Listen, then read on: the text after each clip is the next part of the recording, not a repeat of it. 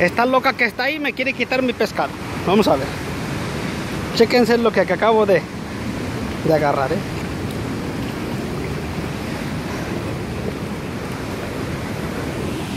Look at that. Una umbrelota.